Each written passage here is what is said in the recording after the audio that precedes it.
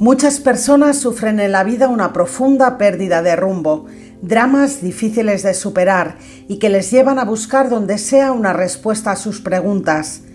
Personas que pierden la fe y van a la deriva, hasta que un hecho clave les devuelve la paz interior y el sentido a sus vidas. Daniela Rosati es hoy una mujer nueva.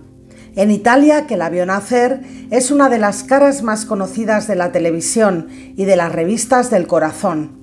Guapa, gran profesional y mujer de éxito, parecía que Daniela lo tenía todo. Pero detrás de su rostro sonriente se escondía una trayectoria de sufrimiento y desesperanza. Nació en Roma en 1958, en el seno de una familia católica con 19 años, una muerte inesperada hizo tambalear los cimientos de su fe. Poco después se casó y se separó para casarse de nuevo con el famoso empresario y presidente del Milán, Adriano Galliani. Daniela quería formar una familia, pero el destino quiso que su sueño no se cumpliera. Hasta en cuatro ocasiones se quedó embarazada sin éxito. Fue entonces cuando, en busca de respuestas a sus preguntas, alejada hacía tiempo del catolicismo, se hizo budista. Sin embargo, aquel cambio de rumbo espiritual en su vida tampoco debió llenarla demasiado. Fue una casualidad que hizo que Daniela encontrara por fin la paz que siempre había estado buscando. En el año 2005 se encontraba haciendo una investigación sobre la reina Cristina de Suecia, aquella soberana del siglo XVII que renunció a su trono, abjuró del protestantismo y se convirtió a la fe católica, terminando sus días en Roma.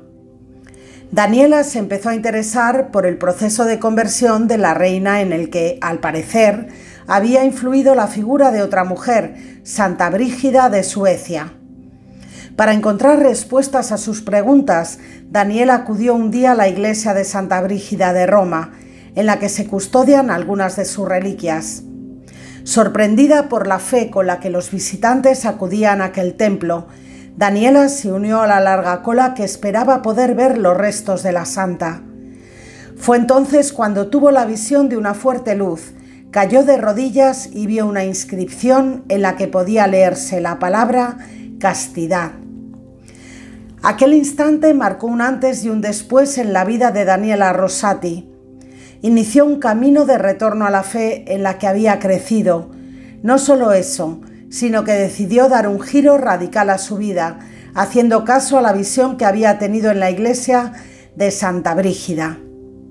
Por aquel entonces ya se había separado de su segundo marido y tenía otra pareja a la que comunicó que a partir de ese momento iba a abrazar una vida de castidad. En 2011 Daniela decidió convertirse en laica consagrada en la iglesia de la localidad sueca de Badstena, donde viven hermanas brigidianas. Hasta allí acude siempre que puede y pasa buena parte de su tiempo oyendo misa, meditando y dando testimonio de su profunda conversión. Ahora que es oblata, Daniela no descarta la idea de algún día ingresar en un convento como monja.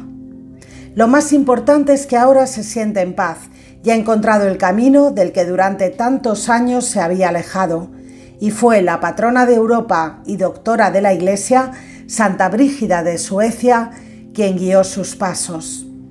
Santa Brígida, ruega por nosotros.